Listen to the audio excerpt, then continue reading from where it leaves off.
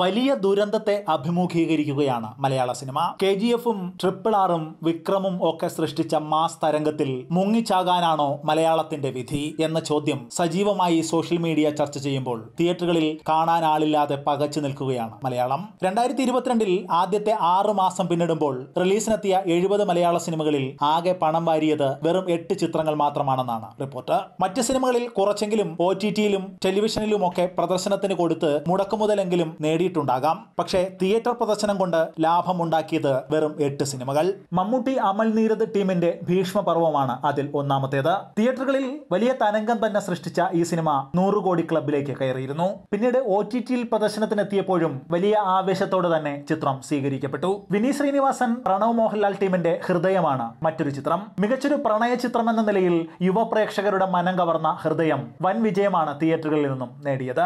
തിയേറ്ററുകളിൽ നിന്നും വിജയമായി മാറിയ മറ്റൊരു ചിത്രം സൂപ്പർ ശരണ്യാണ്.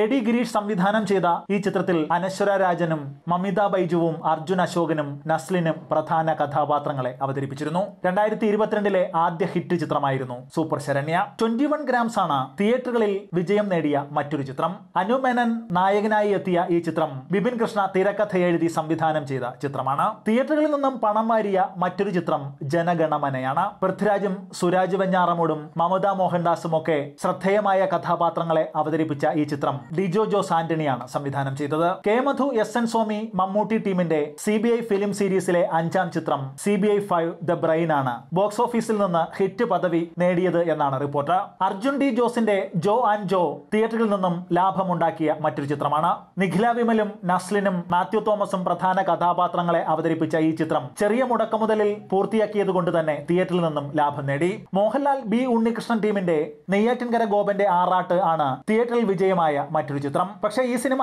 ആവറേജ് വിജയം മാത്രമാണ് തിയേറ്ററിൽ നിന്നും നേടിയത് എന്നാണ് റിപ്പോർട്ട്. നവ്യ നായരെ പ്രധാന കഥാപാത്രമാക്കി വി കെ പ്രകാശ് ഒരുക്കിയ ഒരുത്തി എന്ന ചിത്രം തിയേറ്ററുകളിൽ മുടക്കുമുതൽ തിരിച്ചുപിടിച്ച് ലാഭം നേടിയ സിനിമയാണെന്നാണ് റിപ്പോർട്ട്. ഇന്ദ്രൻസ് പ്രധാന കഥാപാത്രമായ ഉടൽ എന്ന ചിത്രവും തിയേറ്ററിൽ നിന്നും നിർമ്മാതാക്കൾക്ക് ലാഭം നേടിക്കൊടുത്തു എന്നാണ് റിപ്പോർട്ട്. ഒരുത്തിയും ഉടലും മുടക്കുമുതലിന്റെ ചെറുമ കൊണ്ട് വിജയമായി എന്നാണ് വിലയിരുത്തൽ. അതേസമയം കേരളത്തിൽ വന്ന് ട്രിപ്പിൾ ആറും കെ ജി എഫ് ടുവും വിക്രമും മലയാള സിനിമയ്ക്ക് നൽകുന്നത് മുന്നറിയിപ്പുകളാണ്. ഭാഷാഭേദമില്ലാതെ സിനിമകൾ ആസ്വദിക്കാൻ ഇവിടെ ഒരു യുവ പ്രേക്ഷക വിഭാഗം ഒരുങ്ങിക്കഴിഞ്ഞു എന്ന മുന്നറിയിപ്പ്. തട്ടിക്കൂട്ട് സിനിമകളും കണ്ടന്റ് ഇല്ലാത്ത സിനിമകളുമായി ഇനി ഇറങ്ങിയാൽ മലയാളം തിയേറ്ററിൽ ചെപ്പ് തൊടില്ല എന്ന മുന്നറിയിപ്പ്.